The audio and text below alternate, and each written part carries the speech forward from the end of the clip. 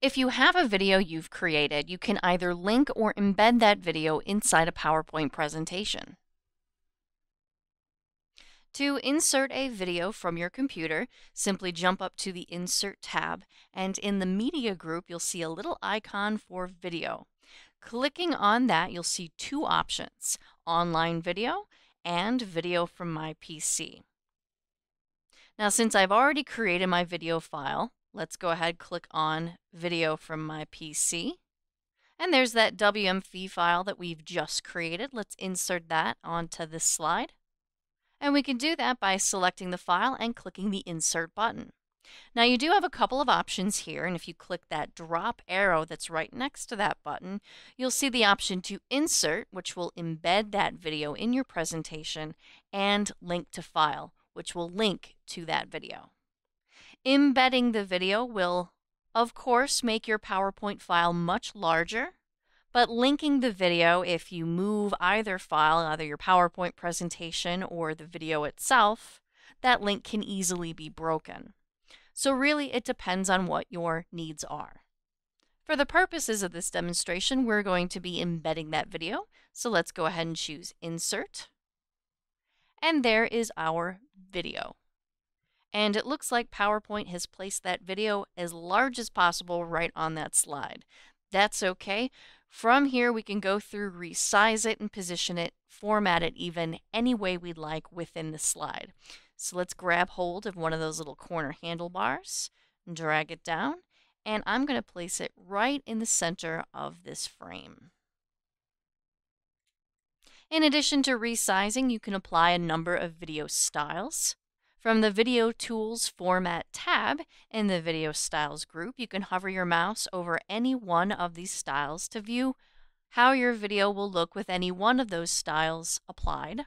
And just like shapes, you can apply a different shape. So if you wanted your video to be shaped like a heart, you could do that if you like.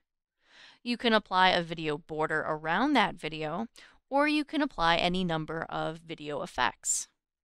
And also, like shapes, you can arrange your video with other objects on the slide. So you can place text or other PowerPoint shapes on top of a video, or you can even send that video to the background of your slide. So that's kind of a newer feature. It's not new specifically to PowerPoint 2013, but it is a fairly recent addition now, one other way that you can format a video that I want to point out is the ability to change the poster frame.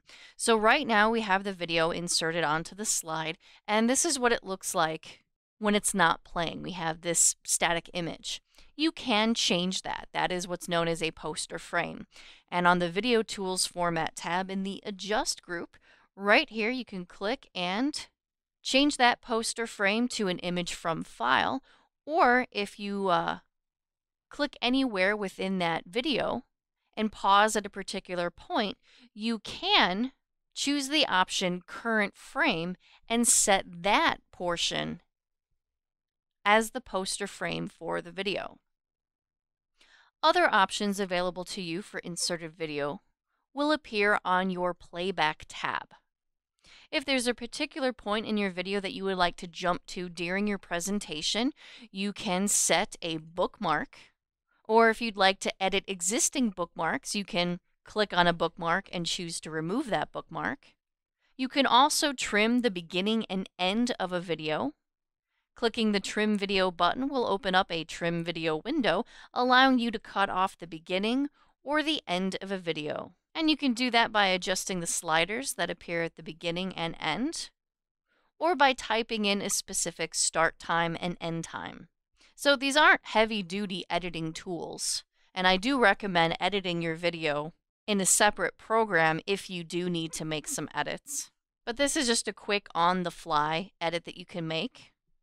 You can also fade the video in and fade the video out, adjust the volume, Choose to play the video full screen, hide the video while it's not playing, loop until stopped, rewind after playing, or you can choose to have the video play automatically once the slide is launched.